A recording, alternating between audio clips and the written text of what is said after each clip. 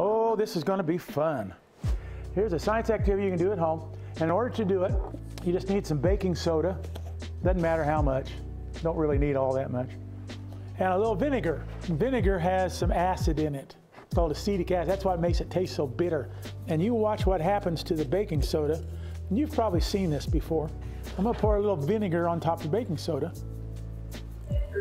Oh, what's going on? Oh my gosh. Uh-oh.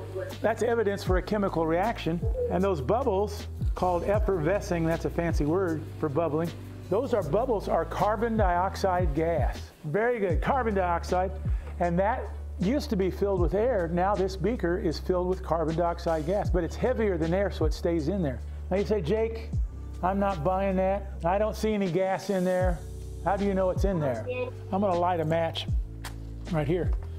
And the match is burning, it's combining with oxygen in the air. But down inside that beaker, there's no oxygen that we breathe, the air we breathe, there's carbon dioxide. So I'm gonna take this match and I'm gonna stick it down in there where there's no air, no oxygen. There's carbon. What do you think is gonna happen to the match?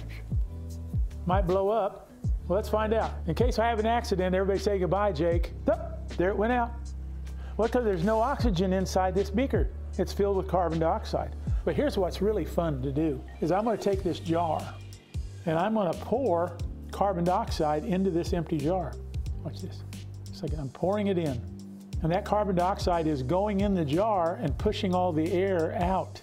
So now I've got that jar full of carbon dioxide and I'm gonna put a lid on it. So there it is, a jar full of carbon dioxide. Can't see it in there, but it's in there. And you can put it up on the shelf and leave it there for a long time. Now what in the world could you do with a jar of carbon dioxide? I have to think. What could I do with a heavy gas that does not let things burn in it? What could I do with it? Well, here's one thing you might be able to do. So I'm gonna pretend like these are birthday candles. And then what are you supposed to do? You're supposed to blow out the candles. Well, that would be the easy way, but it wouldn't be the wizard way. So now I can take one of my jars of carbon dioxide, I open it up and say, happy birthday, dear wizard. Ah, blow out my candles. Yeah. Isn't that sweet? So you guys, when you have some time, get some vinegar and baking soda and ask your parents to do it to do that. Get some vinegar and baking soda, and you can do it in the sink.